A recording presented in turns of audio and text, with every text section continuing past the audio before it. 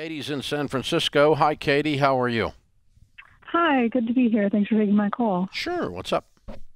Um, so I followed you pretty closely after I graduated college, and I ended up paying off all of my student loans. Way And to go. a- thank you. I have a credit card, um, but no credit card debt, and I just feel like now I've gotten this like quote big girl job, and I have just had a hard time. I felt like I've hit a plateau after paying off my debt of not being able to. I've saved up an- a thousand dollar emergency fund, but like I'll end up spending it, and I just feel like I've hit a plateau where.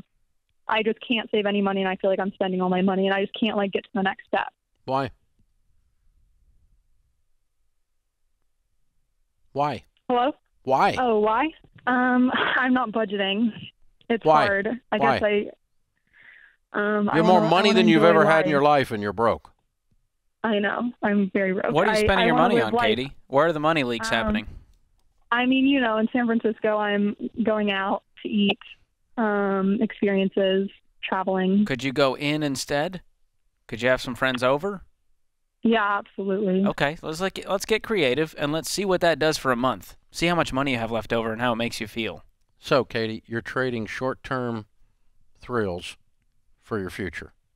Yes, and it's scary because I'm living paycheck to paycheck, and I don't want to do that. Yeah, and and you realize that, and so now you have to decide. Each time you get ready to go out to eat or go on a trip, you have to go.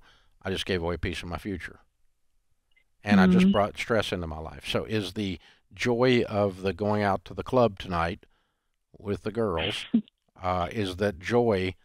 As is that equal to or greater than the amount of anxiety I'm going to feel when I wake up with a financial hangover tomorrow? No. And that's why you're calling. Clearly not. That- That's why you're calling. And so, but my point is, is you've got to put that into a day by day basis and quit doing some of this stuff that you know you shouldn't be doing. Yeah. I guess I, I know I can do it because I worked so hard to pay off over like ten thousand dollars in debt, and then I just lost all kind of I don't know. I was like on a I was Well, you, you, motivated you got you got a great income for the first time. You're making more money than you've ever made in your life, and so you, you know it's like you got lottery lotteryitis, like you hit the lottery or something. right. Katie, here's what I'll do to help you build that muscle.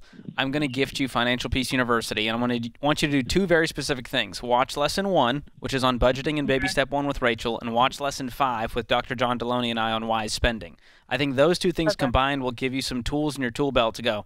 All right, I'm going to walk through the framework. I'm going to walk through this process. I'm going to commit to the plan and just do it for a month. And if you do that and you hate it, you can go back to the way you were living. But I think you're going to feel that sense of relief and you go, I'm in control. I'm confident in my money mm-hmm. decisions. Yeah. I can do this. You got to ask yourself, how old are you? I'm 24. Yeah, so you got to ask yourself, with the 34 year old Katie, is she happy with what you just did? Totally. She's gonna be pissed. Right. You're so I mean, lame. I- That's what she's saying. You're so lame. You're not fun. You used to be fun. I don't want to keep living paycheck to paycheck, and I just I know that this like method works because I feel like I got with gazelle like intensity to Yeah. that step, and now I'm just and I want to continue going. Yeah, and, and I'm gonna be real harsh now. Are you ready? yeah I'm ready. You need some new friends. Okay. All your friends do is what you're doing. You don't have anybody in your life that's like a grown up. All you got is party girls in your life.